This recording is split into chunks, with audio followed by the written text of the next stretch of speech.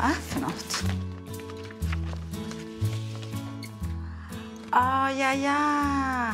Det här är ett kort från eh, Kid Creole and the Coconuts-tiden. Um, ehm, och det är ett fan från Australien som har skickat som vill att jag ska signera det.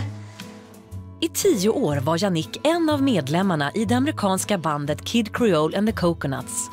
Hon sjöng och dansade i gruppen som under sin storhetstid toppade många av världens listor och både sålde guld och platina. Kid Coconuts var väldigt kända på börja, början och slutet av 80-talet och början på 90-talet. Jag kommer ihåg min första show 1984. Det måste varit i mars.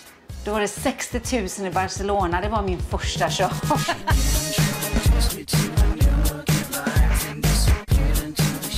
Jag var otroligt nervös. Jag var 17 år. Och jag kommer ihåg att jag sjöng fel, jag dansade fel, för jag var ju så ny och det var så mycket och sådär. Men eh, det gick ju bra till slut. David Bowie var vi och turnerade mycket med U2, turnerade med Um, Rolling Stones, eller Mick Jagger. Uh, Diana Ross var med ett tag.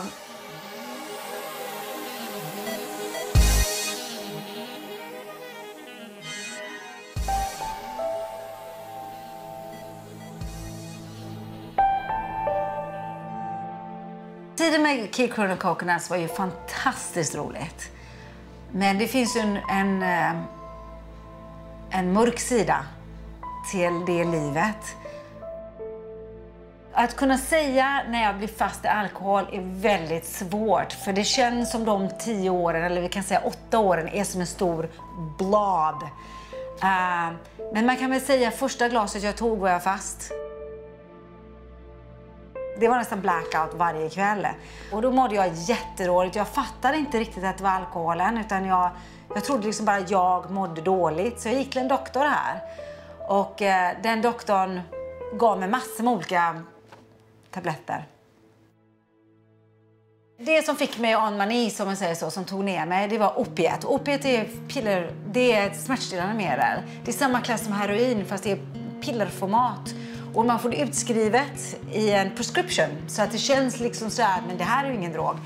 Och det fick mig på en nis, för det är det bästa jag har tagit i hela mitt liv. Jag älskade det. varenda minut på det var helt underbart. Um, ehm, det mesta en doktor kan ge dig är 60 tabletter i månaden. Jag levde på 60 tabletter om dagen. Så att jag hade massor med doktorer som arbetade för mig kan man säga. Jag hade en liten bok där jag liksom hade skrivit upp vem jag var på vilken månad. Liksom sådär. Så att det var ett heltidsjobb att vara på piller. Tre år sedan, då var jag gift. Då hittade min man ännu en gång piller i min väska och sa att this is it, enough. Och eh, då skildes han, slängde ut mig från vår lägenhet och ringde upp mitt jobb och berättade sanningen och då åkte jag på rehab.